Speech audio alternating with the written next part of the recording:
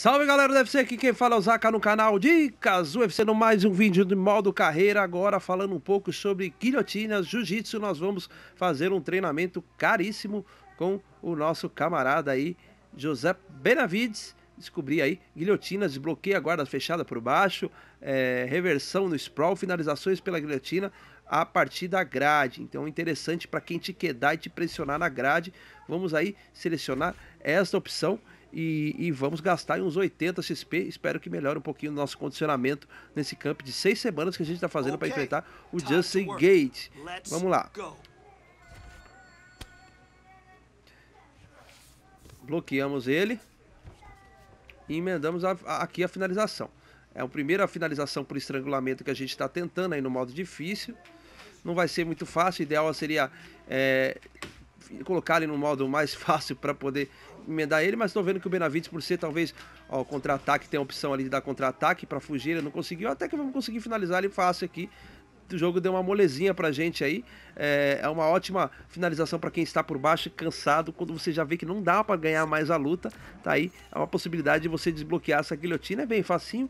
Já ela sobe ali pro nível de uma estrela, você vai subindo essas estrelas conforme você também é, pode. Ó, melhorou bastante o condicionamento, hein, galera? Você pode também. É, subir as estrelas conforme você vai finalizando os outros adversários por guilhotina. Tem a possibilidade de, ser, de, finalizar ali na grade também. Isso a gente pode até fazer num sparring de jiu-jitsu aí, quem sabe, é, ou na própria luta, quando o adversário tentar a queda com você, você já tem a opção de finalização de luta em pé. Depois, mais para frente, a gente vai fazer tutorial também sobre é, estrangulamento uh, em pé, né? Esse estrangulamento em pé que faz muita diferença ali é, para fugir, para pressionar o adversário. Você não precisa ter pressa, né? Você, você vai devagar ali, vai cercando ele mais de 50%.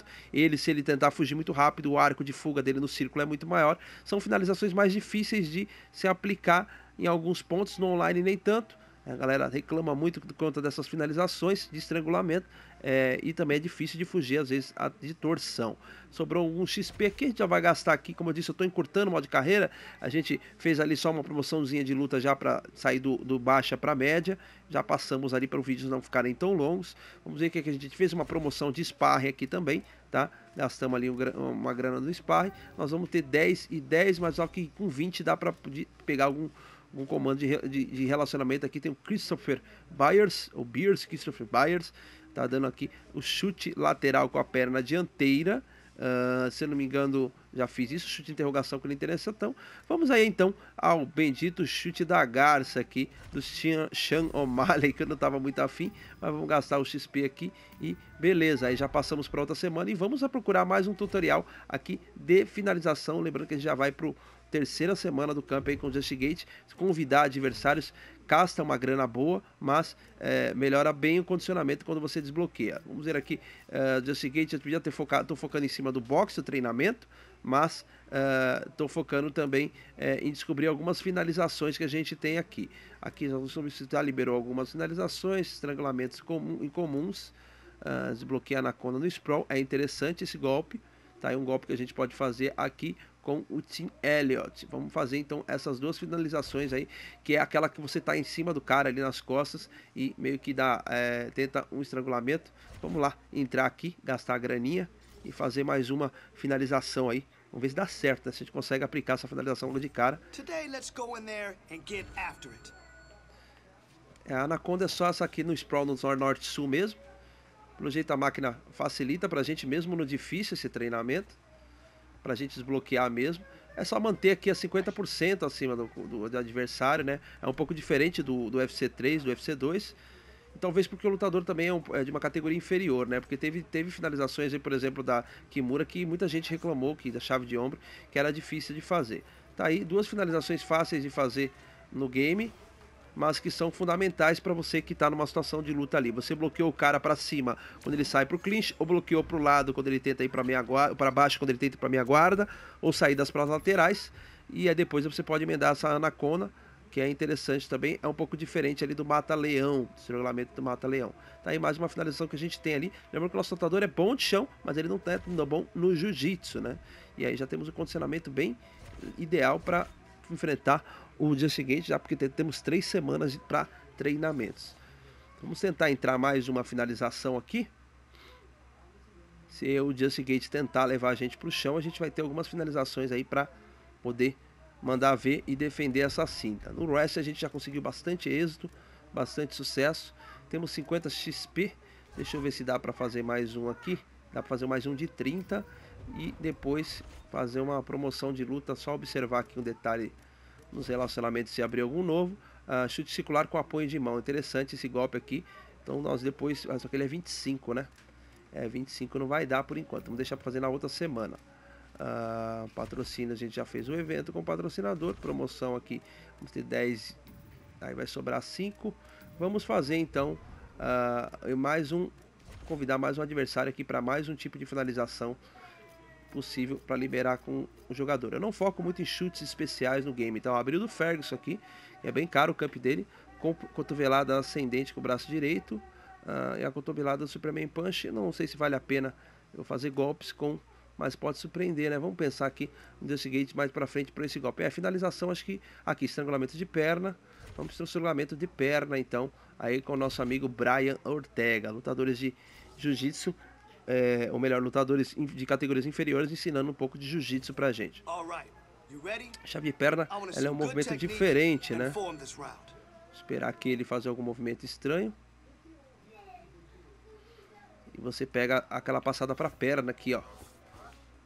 É isso? Acho que não. Realmente não tá mais fácil de, de sair do, do breu aqui na finalização. Nas lutas estavam bem mais difíceis. Eu não vou conseguir finalizar ele agora, porque eu deixei ele escapar muito rápido no começo. Ele teve até o pilão para sair ali. Vamos ver se ele fica nervoso. Ajuda também quando a máquina fica nervosa. Estamos quase empatando.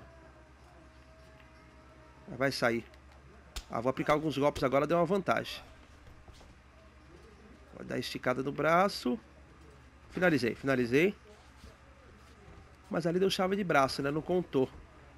Interessante que acho que é outra posição na chave de perna. Vamos voltar lá e fazer novamente. Que o comando ele dá pra gente ali, mas acho que a posição estava errada. Vamos voltar aqui. Today, I want to see you sharp and quick. Ah, estrangulamento de perna. Realizar o triângulo na guarda fechada por baixo. É, ele tá, tente o triângulo na guarda fechada por baixo. Se você tiver mais de uma finalização guarda fechada por baixo, escolha então tente o triângulo para guarda fechada por baixo. Eu passo aqui, triângulo para o lado esquerdo. Sempre que eu entro para o lado direito, tento o triângulo para o lado esquerdo. É isso mesmo. Aí você, ó, ele teria a possibilidade ali de dar golpes enquanto está na minha guarda, né? E aí dá mais fuga para ele. A corrente para poder passar. Não sei se a corrente vai dar vantagem para a gente aí porque ele vai dar chave de braço, né? Não, não, é, não devia ter mudado a posição, então tem que fazer novamente. Vou deixar ele fugir. Tem 3 minutos e 47. Vou voltar para nossa guarda. Estrangulamentos de perna, chave de braço, triângulo, guilhotina e triângulo. Vamos, entra pela esquerda, bloqueia pela direita. Inicia a finalização pela direita. Não vamos, não vamos pegar a corrente aí para ver se não muda a finalização. Vamos deixar a corrente para lá, passar para outra posição. Agora sim, encaixado o triângulo. Deixar ele agonizar um pouquinho. Lembrando que o adversário, se ele tiver com vigor menor que o seu, ele se apertar o pilão aí, ele sai dessa finalização. É uma opção que o lutador de wrestling tem para fugir. Quase finalizando ele. Agora sim, bateu. Agora deu certo. Deveria ser estrangulamento com a perna, né? E não estrangulamento de perna. Confunde um pouco. Porque tem chave de tornozelo. Tem outros tipos de golpe que você você faz. Aí, acho que talvez, não sei se pela tradução do jogo. Mas tá aí completo. A nova ação aprendida. Deixa eu ver que o condicionamento tá muito bom já. A gente pode até pensar em promoção de luta, mas a gente vai seguir essa linha nesse tutorial para essa luta do Dust Gate de convidar famosos. Vamos gastar bastante grana nesse camp para poder fazer a luta com ele. A expectativa é de pegar uma luta não muito fácil com o Dust Gate, né? Uma luta complicadinha aí. Uh, temos aqui um avanço para a próxima semana. O condicionamento já está praticamente ideal. Terminamos como investir em box, mas vamos novamente, expectativa pode ser que não fique grande, porque a gente está investindo aqui, vamos ver se tem mais alguma outra finalização para a gente fazer aqui, liberar. Uh, chute chaves de, uh, chaves de perna aqui, tem uma outra chave de perna com o coreano, o zumbi coreano, infelizmente não tem, né, ainda queda circular em Manari, essa, essa não está liberada pra gente ainda, para quem não sabe, é aquela cambalhota que ele dá, né, o Ferguson ali no meio da luta. Uh, acho que quem tinha o Rock Road também, não, Rock Road, não, é, é, o McDonald que saiu pro Pelator tinha também. Uh, vamos tentar então essa chave de perna aqui com o Chang Sung Yung, zumbi coreano. Lembrando que é um dos campos mais caros que a gente está fazendo aí no UFC. Talvez a gente nem recupere se vencer a luta. Essa sim é uma chave de estrangulamento de perna, né, que eu falei, né? Tem aqui a chave de perna lá. Aí você pode pegar a chave de joelho, você pega o joelho do adversário quando está na bandeja, só quando está na bandeja. Opa, deixei ele escapar um pouquinho aqui, mas já dá para cercar. Bem simples, né, galera? Talvez no modo lendário fique mais difícil de finalizar aí no treino. Olha, ele conseguiu escapar um pouquinho. Quando ele está nessas posições ali intermediárias, é difícil de acompanhar. Escapou bem. Para seguir tranquilo ele, fica bem previsível o movimento da máquina. Às vezes ela para nessa posição do meio aqui, é mais difícil da gente nos extremos é sempre mais fácil de antecipar a chegada.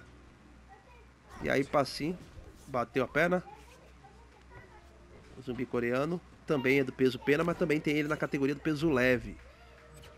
É, eu acho que nesse UFC também tem. Já sempre teve no UFC 2, no UFC 3, quando nosso condicionamento já tá bom. E vamos avançar. Tá aí, galera. Falei, fizemos três finalizações. Umas ali a gente precisou repetir, mas ficou bem fácil né, de fazer. É, não está no modo realmente lendário ainda. A gente está indo muito bem no modo difícil. E vale lembrar que, que depois a gente tenta fazer algumas lutas no lendário também, que não dá para mudar nesse modo carreira, mas fica interessante para você sempre que for fazer um desafio desse finalização, você tem ali uns 5 minutos. Então procura bloquear as transições, cansar o adversário, que aí fica mais fácil de finalizar. Espero ter gostado desse vídeo, galera. Confira outros vídeos da série aqui no modo carreira, só conferir ali a lista de reprodução aqui do canal e com certeza ajude a gente aí a divulgar, compartilhar para um amigo que está começando o game e deixar o like. Algumas dessas dicas também funcionam por UFC 3. Um grande abraço, até a próxima, galera.